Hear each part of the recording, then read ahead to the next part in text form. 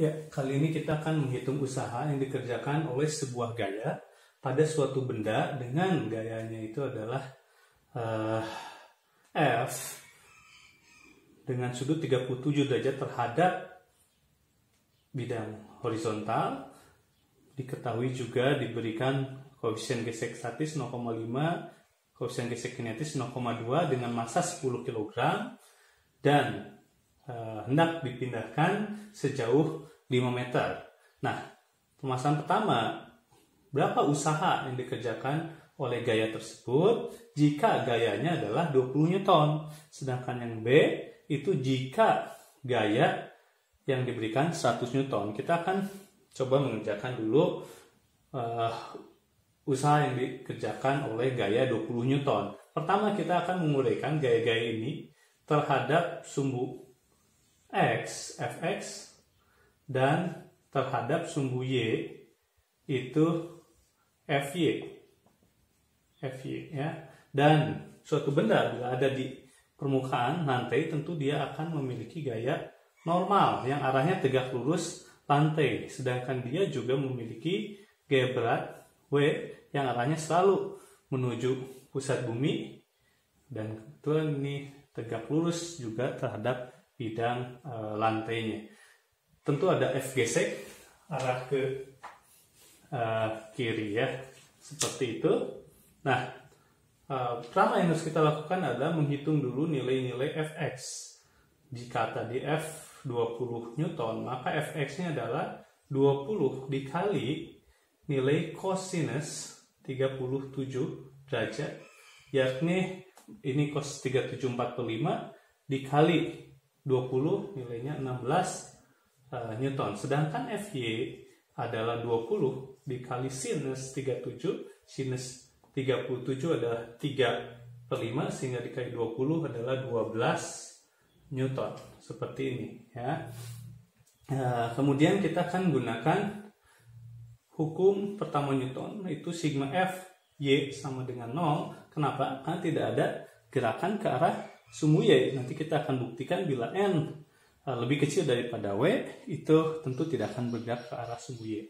Nah, kalau kita lihat itu N dikurangin W karena arahnya N ke atas dan W ke bawah ditambah FY karena ada komponen gaya ke arah sumbu Y harus sama dengan 0 sehingga M sendiri adalah W dikurangin FY yang mana nilainya adalah W itu massa atau gravitasi ini weight itu masa gravitasi 10 dikali asumsi gravitasinya 10 sehingga ini adalah 100 Newton dikurangi Fy adalah 12 memberikan hasil 88 Newton.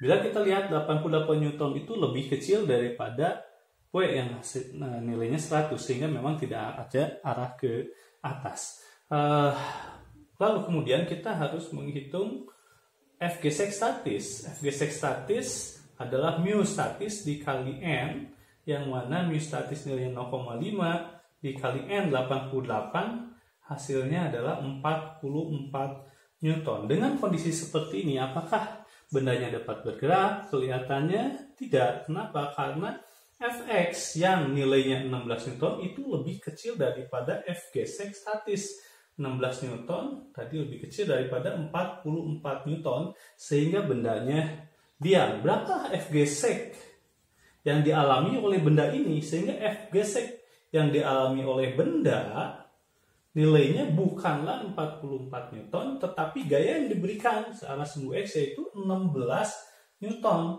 dan hal ini mengakibatkan usaha yang dikerjakan itu pasti No, karena selain benda itu kita juga bisa membuktikan bila kita tuliskan ini adalah fx dikurangin f gesek atau f benda dikali s, maka ini adalah 16 minus 16 dikali 5 tentu saja ini 0 ya, 0 joule. Dan memang kita lihat bahwa bendanya itu diam karena fx-nya tidak bisa mengalahkan f gesek statisnya seperti itu ya sehingga kita bisa lihat bahwa usaha yang dikerjakan oleh gaya 20 Newton itu no joule atau benda tidak berpindah. Bagaimana bila uh, gaya yang dikerjakannya itu adalah B itu gaya yang dikerjakannya adalah 100 Newton. Sama seperti tadi, kita akan menghitung Fx yang nilainya ada 100 dikali nilainya cosinus 37 itu adalah 80 Newton karena dia 4 per 5 Fy adalah 100 dikali sinus 37 itu 3 per 5 dikali 100 itu adalah 60 Newton. Dan sekali lagi kita akan menghitung sigma Fy hukum 1 Newton itu sama dengan 0 di sini N minus W ditambah Fy harus sama dengan 0 sehingga N itu sendiri gaya normal W dikurangi Fy yaitu sorry 100 Newton dikurangi Fy adalah 60 jadi ini adalah 40 Newton. Nah F gesek statis yang terjadi adalah mu s sama kali n yaitu 0,5 dikali 40 adalah 20 Newton. Bila melihat ini, maka kita bisa simpulkan bahwa Fx lebih besar dari F gesek statis. Sehingga kita bisa katakan bahwa benda bergerak. Ya.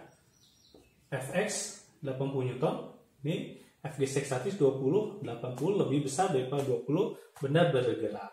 Nah, berapakah F geseknya? Jadi F gesek benda itu sudah bukan lagi F gesek statis. Itu akan sama dengan F gesek kinetik yaitu mu kinetik kali N sehingga itu nilainya mu kinetiknya 0,2 kosin gesek kinetiknya dikali N adalah 2 sorry N nya adalah 40 ini hasilnya ada 2 ini hasilnya ada 8 ya. 8 Newton ya. Nah eh, berapakah usaha yang dikerjakan? Maka usaha yang dikerjakan adalah F X dikurangi F gesek benda dikali S. Jarak yang diinginkan 5 meter sehingga di sini Fx adalah 80 dikurangi 8 dikali 5 meter itu nilainya 72 dikali 5 adalah 360 joule. Nah, itu adalah e, besar usaha yang dikerjakan oleh gaya 100 Newton dan sudut kemiringan 37 derajat terhadap e, horizontal. Terima kasih.